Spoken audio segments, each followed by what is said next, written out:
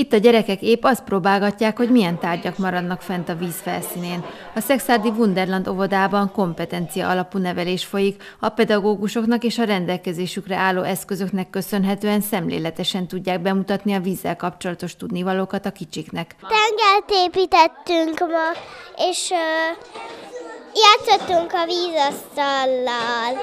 Az óvodai fejlesztésnek köszönhetően a kicsik korán elsajátítják a vízzel kapcsolatos tudnivalókat, mire lehet használni, milyen veszélyeket hordozhat magában, hogyan lehet óvni a földön található vízkészletet. Itt az óviban beszélünk arról, hogy takarékoskodunk a, a vízzel, oly módon, hogy nem folyatjuk fölöslegesen, ha lehet zuhanyozunk, nem kádban fürdünk, ezeket ők hazaviszik, otthon is beszélnek róla, és úgy gondoljuk, hogy ezzel szülőknek is úgymond egy kis üzenetet átadunk. A rengeteg piszkos víznek, amit az ember lehúz a vécén, leenged a mosogatóban vagy a mosdókagylóban, mind mennie kell valahová. Nem jut egyenesen a legközelebbi patakba, folyóba vagy tengerbe, hanem a szennyvíztisztító telepre kerül, ahol egy sor eljárás során megszűrik, majd megtisztítják azt a káros anyagoktól. Nincs ez másként tolnán sem. Itt naponta közel 2200 köbméter tisztított szennyvizet bocsájtanak ki, ami havonta 55-60 ezer köbmétert jelent.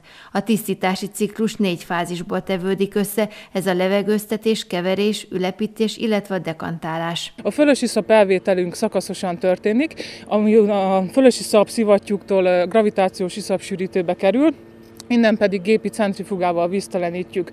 A víztelenített szennyvízi szap szárazanyag tartalma 20-25% amely komposztálás után a mezőgazdaságban kerül újra felhasználásra. A tisztított szennyvízünk minden egyes dekantálási fázisban kerül elvételre, ami azt jelenti, hogy Naponta minden egyes medencében ötször veszünk el tisztított szennyvizet. Innen a tisztított szennyvízünk a tisztított szennyvíz átemelőbe kerül, onnan pedig szivattyúk segítségével juttatjuk a befogadóba. A tisztítás követően a víz már visszaengedhető a környezetbe, jelen esetben a Dunába, annak kockázata nélkül, hogy betegségeket terjesztene, vagy akár a növényekre és az állatvilágra veszélyt jelentene. A bogyiszlói víztisztító üzembe is érkezett egy csapat óvodás, hogy megtudják, hogyan lesz a Duna vízéből ivóvíz, és hogy megtanulják, mekkora érték az, hogy idehaza csapból is jó minőségű ivóvíz folyik.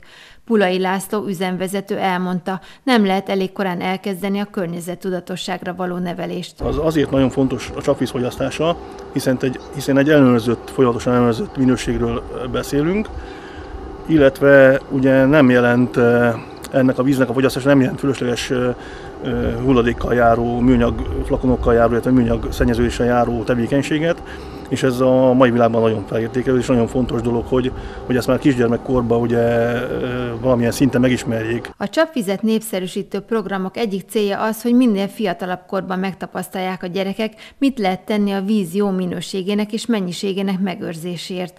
A bogyisztói víztisztító üzem felel egyébként egész szexált vízellátásáért, ahol naponta kb. 7000 köbméter vizet tisztítanak meg a parti szűrésű kutakból.